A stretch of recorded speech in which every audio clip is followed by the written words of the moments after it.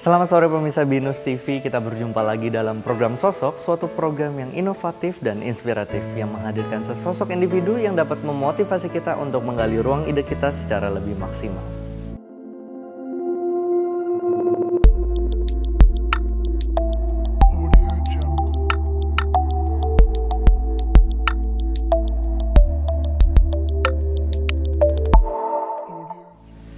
Sosok kita pada sore hari ini adalah seorang idola muda yang sedang merintis karirnya. Untuk lebih jelasnya, kita ada profil profil narasumber yang sudah dihimpun oleh tim Binus TV. Ini dia.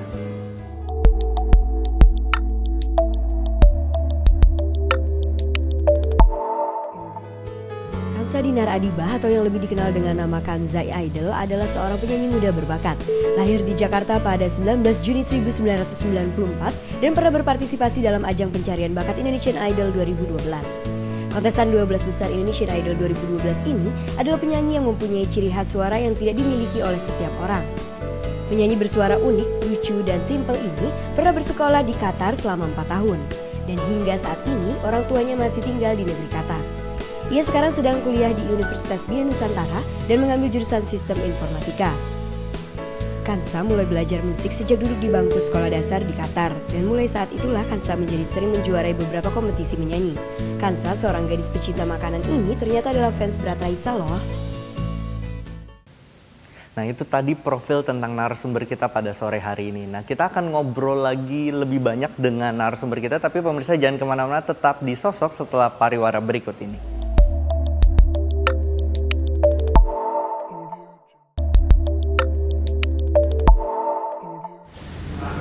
Terima kasih pemirsa masih di sosok. Nah sekarang kita sudah bersama narasumber yang akan ngobrolin tentang being an idol. Nah Kansa lagi sibuk nih hari ini. Berarti bisa ngobrol-ngobrol. Kita duduk. Hari ini emang gak ada kegiatan, berarti free dan bisa kita. Nah kita mau ngobrolin tema kita hari ini being an idol. Seperti yang kita tahu kan Kansa ini seorang uh, finalis Indonesian Idol.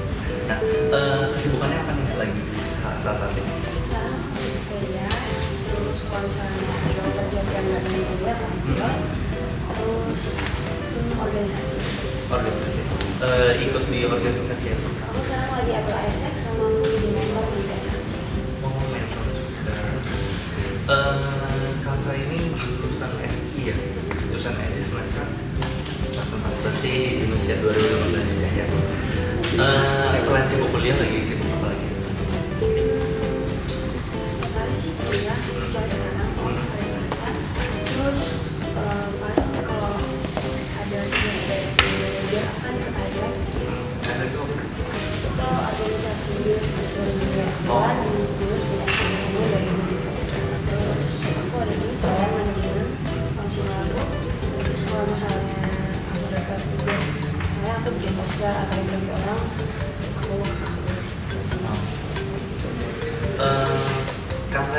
finalis Indonesian Idol. Bisa diceritain nih pengalamannya? Dari dari Kansa yang seorang mahasiswa biasa jadi seorang Kansa yang dikenal sebagai finalis Indonesian Idol. pertamanya sih dorongan orang tua sama teman. Kalau ada iklannya mereka langsung bilang merasa kok nggak ikut aja? Kan lo bisa nyanyi gini pertamanya aku sendiri udah bilang ya masa masa dapat dapat ujian terus tapi kayak tiap hari tuh diteleponin ikut ikut ikut. Ya udah akhirnya Diteleponin sama sama orang tua di luar negeri kayak Oh. kamu udah daftar belum? Belum belum belum. Sampai hamil berapa itu baru ehm, udah deh daftar. Hmm. daftar terus kemudian dia wah udah daftar gini gini lu mainnya apa? Hmm, tahu sih lu masih nggak tahu kan? Kayak mainnya apa? Akhirnya pas habis daftar beneran besoknya ujian. Akhirnya bilang kan kayaknya gak usah ikut deh soalnya ujian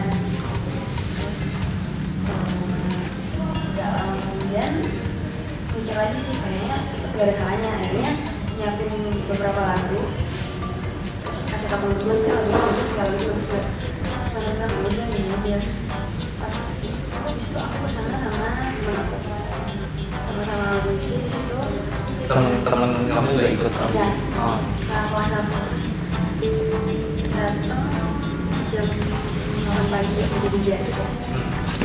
habis itu antreannya udah nyampe luar pagar itu udah udah pesimis. udah oh iya. Pesimis. Kayak padahal besoknya ujian. Iya udah mau hujan karena bulan Desember atau Januari kita setua stay sama Ah. terus udah ya udah. Terus udah nyampe situ masa pulang lagi gitu kan. Hmm. ya udah ya udah nanti aja ya kan itu aku baru nyampe masuk ke bangun itu jam sepuluh jam sebelas siang. Nah, karena terus sempat hujan hari itu sempat iya. hujan jadi kayak ya udah bawa payung ya udah harus aja nggak apa-apa. Oh langsung masuk di seleksi gitu ya. Apa? Ini masuk itu kan orang mikirnya di TV kan katanya kayak oh langsung ketemu juri gitu. Padahal tuh enggak, jadi di hari itu tuh sebenarnya nggak ada yang ketemu juri salah satu dan satu nggak bakal ada yang juri hari itu. Jadi sebenarnya kita masuk itu petinggi tinggi yang dari ya, produser. kayak apa ya yang mungkin tahu lah gimana sih caranya menyeleksi orang yang pantas masuk di atau enggak. Terus itu cuma kayak oh lo bisa ini lo bisa enggak. Terus dari 50 orang jadi satu itu ada kayak 10 juri satu minggu itu ada tiga atau empat juri kayak dari akademi sama pemerintah terus hmm, kayak diseleksi dari 50 orang yang diambil pas oh tiga orang tiga orang. Iya, dari lima puluh. dari 50 jadi yang dipanggil ada 50 orang yang dipanggil cuma tiga orang. Dari yang kemarin tadi dari 50 orang. Kebetulan nama aku yang paling pertama disebut.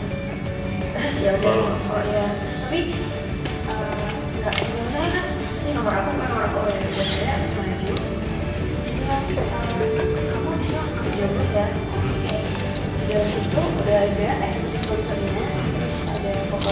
Jadi masih belum juri juga? Belum berarti banyak banyak banyak banget. dari dari kru terus dilihat cuman Iya. yang penampilannya bisa bisa jadi juga lo bosan juga sih pembuka habis itu baru di sosok video gue diambil kayak video itu udah ada kamera segala macam kayak set itu udah nyanyi udah latihan. Eh, udah maksudnya seleksi yang nyanyi. Di dalam seleksi aku tadi itu juga gini cuman kayak cuman sepotong doang terus kalau dia bilang stop ya udah tunggu ya oke yang pas masuk video book itu disuruh nyanyi macam-macam. Kayak ya udah nyanyi dan aku bawa gitar kan kebetulan itu. Oke udah selesai nyanyi satu disuruh nyanyi lagi nggak main gitar udah kayak dia tanya macam-macam terus itu ya udah keluar interview dulu. Oke. Interview lagi ya. Ya, pokoknya abis itu singkat cerita langsung di jurinya. Itu kan udah lolos lolos lolos. Terus baru langsung di jurinya. Setelah seminggu di telepon Oh, setelah seminggu di telepon baru suruh ya aku sudah delapan ya jam gini terus sekarang ketemu juri ketemu juri itu pun disuruhnya datang jam delapan pagi? Aku baru ketemu juri jam sembilan itu emang ngantri banget kan enggak itu tuh nggak ngantri karena emang jurinya doang gitu aja kayaknya dibagi batch batch itu loh jadi kayak ada shift shiftnya mungkin ya? Hmm, jadi kalau di Jakarta itu ketemu jurinya ada tiga hari. Aku nggak tahu sehari itu berapa peserta cuman yang aku tahu dari satu ruangan itu aku batch paling lagi jadi aku malam dari padahal aku disuruh situ pagi terus udah seleksi sama jurinya lolos terus langsung yang tayang di TV ya nah tayang di TV itu eh, itu berapa besar sih pas udah tayang di TV Eh,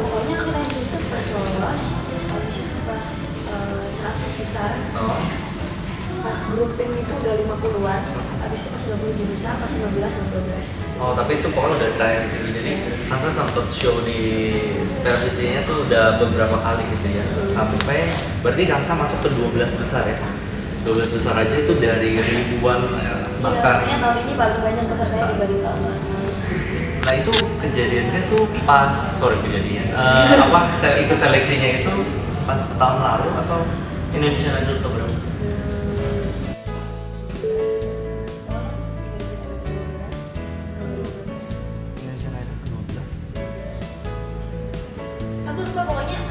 pokoknya 2012. tahun 2012 nah itu bulan Januari berarti pas lagi bentrok-bentrok sama UTS sama Terus habis itu show-nya lagi yang sebagai yang karantina juga April.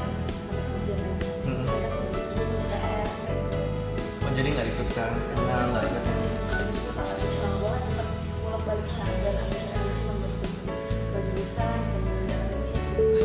berarti udah pusing ujian pusing ini juga tapi pokoknya akhirnya bisa lolos tapi eh, sayangnya saya eliminasi pas di 12 besar nih itu.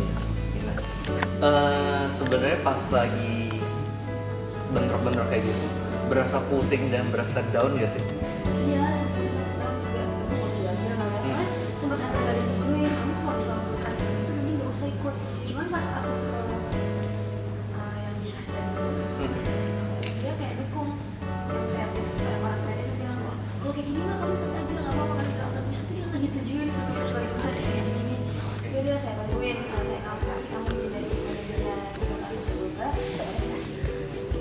izin tapi emang sebenarnya down ya karena harus ngurusin ujian mikir ujian nah, waktu itu ujiannya sempet turun gitu atau masih bisa Tolong sih enggak, cuman ada beberapa dosen yang nggak mau toleransi, akhirnya juga sempat orang menilai. Oh, nggak Kalau boleh. sih nggak mau tahu kamu nggak mau kuliah juga segitu. Kan saya punya alasan pak gini. Enggak, ya udah, mau gimana lagi? emang susah ya mungkin jadi seorang entertain itu apalagi beberapa kuliah segala nah kalau eh, dengan orang tua kan orang tua juga di luar negeri nih gimana nih pas kan saya jadi seorang entertain Sempet juga sih soalnya yang anak-anak yang lainnya kan disupport kan orang tuanya dateng atau gimana gitu kan. Aku aku sendiri yang nggak ada orang tua atau Hmm. paling cuma teman sama saudara-saudara aku doang. Cuman kan pengen lah ya ditonton orang tua. iya lagi di support langsung datang langsung nonton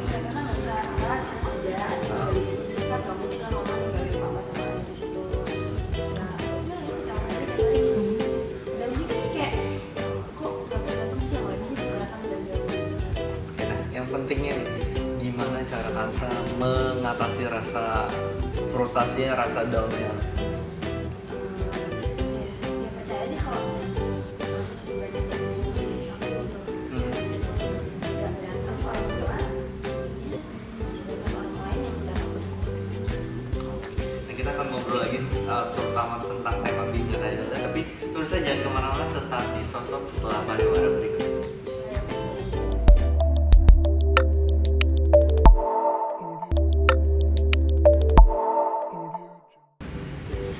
kasih pemirsa masih di sosok. Nah sekarang kita akan berdiskusi sama Kansa tentang tema kita hari ini Being an Idol. Nah Kansa, kan tema kita hari ini Being an Idol. Menurut Kansa sendiri Being an Idol itu apa sih? menurut aku sendiri di idol tuh menjadi seseorang yang mempunyai tanggung jawab atas diri sendiri dan di masyarakat karena ketika seorang itu punya title idol Hmm. pasti masyarakat udah ngeliat mau dari attitude itu yang dilakukan harus positif gitu jangan sampai orang itu berpikir negatif tentang diri kita jadi ya Yang penting bisa menginspirasi banyak orang lah. jadi idol tuh bisa inspirasi dan memotivasi orang Hmm. nggak harus di bidang entertainment bisa di bidang lain kelas kayak mana aja sini Hmm. Uh, karena emang seorang idol itu kadang-kadang suka bisa jadi panutan atau pedoman tuh dia aja kayak gitu masa gua enggak kayak gitu ya nah uh, sebagai seorang entertainer atau idola kan kadang-kadang suka dapat kritik nih. Kan sendiri sering nggak sih dapat kritik dari fans atau dari kalau orang? zaman dulu yang itu kan Hmm. ada pro yang pasti kayak atau pendukungnya ini kayak cuma yang lainnya. Cuman kalau aku baca misalnya di Twitter kan pasti kayak oh gini gini ya aku misalnya baca oh ya udah opini lo opini lo nggak nggak bakal gimana ya? Maksudnya semua opini orang aku pasti aku positif. Hmm. kalau misalnya opini itu baik aku ambil. Jadi bisa buat belajar sebenarnya berarti kritikan dari orang-orang ya kita terima aja tapi untuk jadi bahan pelajaran buat kita juga gitu. Nah, em, susah nggak sih jadi seorang idola menurut kamu? Hmm, kalau sih ya karena harus dilatih gitu loh Hmm. walaupun pergi tuh kayak jadi tahu terus kayak dilatih gitu kan kayak Iya. diperhatiin ngomong apa-apaan diperhatiin jadi kayak enak sendiri gitu kan Oh, salah, risih gitu. salah dikit baru diomongin tiba-tiba udah nyebar Oh, iya. aneh banget Nah itu eh, susah, berarti nggak enak loh. ada enaknya ada nggak enaknya dari segi pengalaman jadi lebih banyak pengalaman lebih banyak Hmm. pengalaman juga enaknya gitu jadi kayak apa apa dilatih apa apa dilatih udah nggak sebebas ini yang kalau bukan apa figure Hmm. Nah, eh, menurut kamu sendiri perbedaan ada nggak sih perbedaan antara seorang idol dan yang bukan idol? Ini terlepas dari dunia Indonesian Idol atau tak ini ya. Tapi seorang public figure, seorang yang dikenal sama orang yang nggak dikenal, menurut Kansa ada perbedaan. Apalagi Kansa kan juga mengalami ya dari Kansa yang biasa menjadi Kansa yang bisa keras dan punya sesuatu hasil dari setiap lakukan Hmm. kalau menurut aku sih apa pun yang mereka ambil path apa pun yang mereka ambil kalau mereka bertanggung jawab mereka juga bisa jadi public figure kayak kalau misalnya dari aku sendiri kan orang udah aku udah mikir kayak aku mau ikut mau ikut. Cuma kayaknya banyak dorongan terus aku mau tanggung jawab dan masih pengen ngejalanin ya alhamdulillahnya bisa sampai aku jadi aku orang misalnya ngelakuin sesuatu kalau misalnya dia serius ya dia itu pasti dia bisa kalau perbedaannya ada nggak perbedaan yang ya cukup signifikan gitu antara seorang public figure dengan yang tidak public figure? Dari mungkin dari segi attitude-nya, dari segi apanya lah menurut mau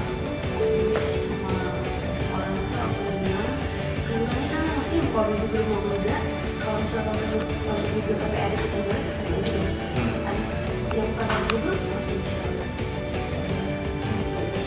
Berarti semua sama cuman itu gelar dan ada pekerjaan atau enggak gitu. Nah, eh, Kansa juga sekarang berarti terima job-job nyanyi gitu kan ya? Sibuk banget dong ya? Iya sih, karena kalau misalnya kayak kemarin misalnya dari manajemen kebanyakan luar kota kan aku sih masih lebih mendingin kuliahnya dibanding masih kayak misalnya kemarin suku solusi atau Hmm. ke mana gitu Tapi- meskipun ya enak kan bisa dapat penghasilan sendiri Oh, iya, betul. repotin orang tua cuma tetap aja kan kayaknya masih ada Oke, nah, eh, berarti Kansa juga maksudnya untuk dapat job kan berarti lebih peluangnya lebih besar setelah menjadi idol gitu. ya. Sibuk juga, nah gimana nih cara ngatur waktunya antara kuliah, terima job itu, sama hubungan dengan keluarga, sama teman-teman. Namanya kan kuliah juga nggak full jam 7, jam 10, jam 9 Apa pun itu kalau misalnya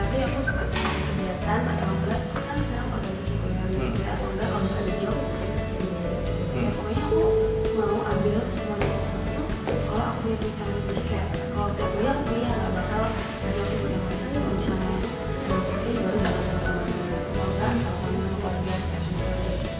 Berarti seorang seorang eh, public figure atau enggak seorang yang sibuk harus benar-benar bisa ngatur waktu itu dengan baik. Yang penting kuliah itu nomor satu, pendidikan nomor satu. iya Iya, supaya pemirsa di rumah juga terinspirasi kalau kuliah itu atau pendidikan itu harus nomor satu ya. Kalau ini harus nomor dua dan kesennya. Iya. Oke betul. Tapi emang eh, saya juga setuju sih kalau misal pendidikan itu harus tetap nomor satu. Nah, em, emang kita coba kita flashback. Sebenarnya passion Kansa atau cita-cita Kansa, Kansa tuh dinyanyi untuk jadi penyanyi atau punya cita-cita yang lain? Kalau passion sendiri yang keren banget tuh sebenarnya buat bisa orang entertainer tuh enggak Hmm. kayak realistis aja sih kayak itu bisa ngapain sih sebenarnya makanya di seorang entertainer tuh gak segampang yang dipikirkan kayak misalnya artis dulu sekarang kan bisa artis sebenarnya koneksi atau enggak atau Iseng-iseng itu, kali. ya. kalau aku sendiri kan emang dari Indonesian Idol jadi kayak udah karunia lah istilahnya Oke. jadi kayak gitu ya